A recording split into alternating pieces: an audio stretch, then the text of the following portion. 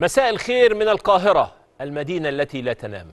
إلى الإمارات عامة ومدينة العين الهادئة وذرة الأحلام. تحية واجبة من أرض الحضارة والمجد العايد إلى كل أحبابنا وأهلينا من شعب وأبناء زايد.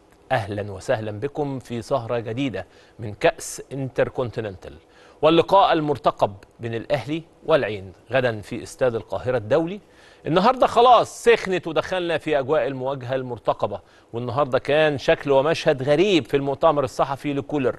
متعودين دايما الناس تسأله هو النهارده بيسأل الناس وبيتعجب ومستغرب. ليه النهارده الإعلام الإماراتي بيقول إن المواجهة سهلة؟ ليه بيقول إن أنا جاي أكسب الأهلي؟ ليه حد يرد عليا وحد يجاوبني؟ فكان الرد النهارده مختلف وغريب. تعالوا نشوف كده حضراتكم مع بعض كولر قال إيه النهارده للإعلام المصري.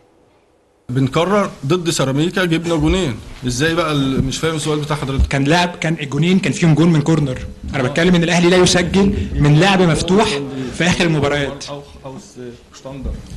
Ja, ist das? Standard. يعني ال- ال- الماتش اللي ال- الجون اللي جاي من الضربه الركنية ده ما يتحسبش يعني ولا هو اللي بيسأل هو بيسألك يعني إيه السبب إن ال- التوجه في الإعلام الإماراتي إن هو إن هم الماتش سهل عليهم بالرغم إن هم هيلعبوا في استاد القاهرة ضد الأهلي؟ أنا بتأثر يعني؟ أنا عامة اتكلمت في الموضوع ده يا ريت ما نتكلمش فيه تاني. يعني عايزين بس نركز في شغلنا بس يا ريت. وإحنا عن إحنا في النادي الأهلي مركزين في شغلنا بس.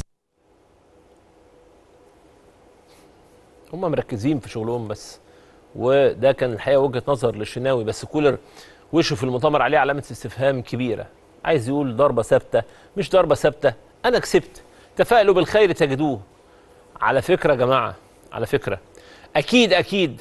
وكل التوفيق وكل التحية وكل التقدير لفريق العين الإماراتي اللي بيشرفنا والنهارده هنا وكل واحد إماراتي على أرض مصر بلده التاني. وإحنا لما بنروح هناك بنشوف ترحاب غير طبيعي غير طبيعي. واحد يقول لي أنت كل حلقة بتشيد بالحتة دي لأن عشتها. عشتها هناك. عشتها بمنتهى الصراحة لا بمنافسة ولا بحاجة. عشتها هناك مع خالد بيومي عشتها مع مع يعقوب السعدي عشتها مع عماد يوسف عشتها الحقيقة مع ناس كتيرة جدا جدا هناك. عشتها إزاي بدعم وبحب وبصداقة وبأخوة وبكل حاجة في الدنيا. فبالتالي هنا عندنا بالمثل. إحنا امبارح لأول مرة على قناة نقول إن هيكون موجود بكرة على قناة أبو ظبي. يعقوب في تغطية خاصة جدا تغطية رائعة جدا لأن إحنا فعلا بنعتبر إن الناس دي إخواتنا بمنتهى الصراحة. وعايز أقول لحضراتكم حاجة. الناس النهارده الناس النهارده زي ما هي بتبص على ال- ال- ال- اللقاء زي ما هي الناس بتقول إن إن شاء الله بإذن الله بكرة ميعاد ال- ال- المحاكمة بتاعه آه، لاعبي نادي الزمالك اللي إحنا مش ناسينهم وبندعي لهم إن شاء الله بإذن الله إن الأزمة تنتهي بكرة على آه، خير ويرجعوا إن شاء الله بإذن الله لأهاليهم وأسرهم بالسلامة. وكلنا الحقيقة ثقة في آه، عدالة ال- ال- القضاء الإماراتي وعلى ثقة كبيرة جدا جدا إن شاء الله بإذن الله.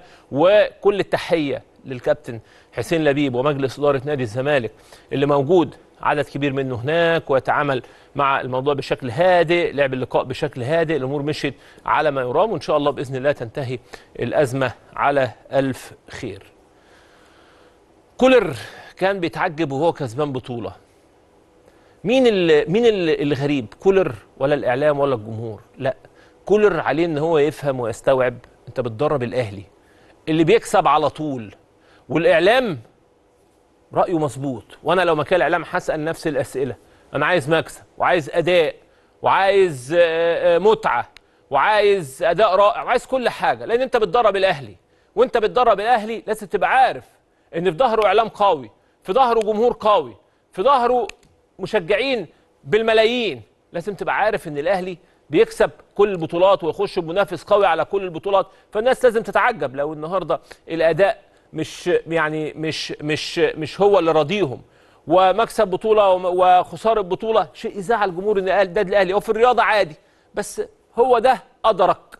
أنت بيجي لك إمكانيات معاك قماشة لازم تكسب كل المباريات. النادي الأهلي ما عندوش دايما أي مبررات. أنا ليه ما كسبتش؟ خصوصا إن جمهور النادي الأهلي الكبير العظيم بكرة حاضر وبقوة في استاد القاهرة.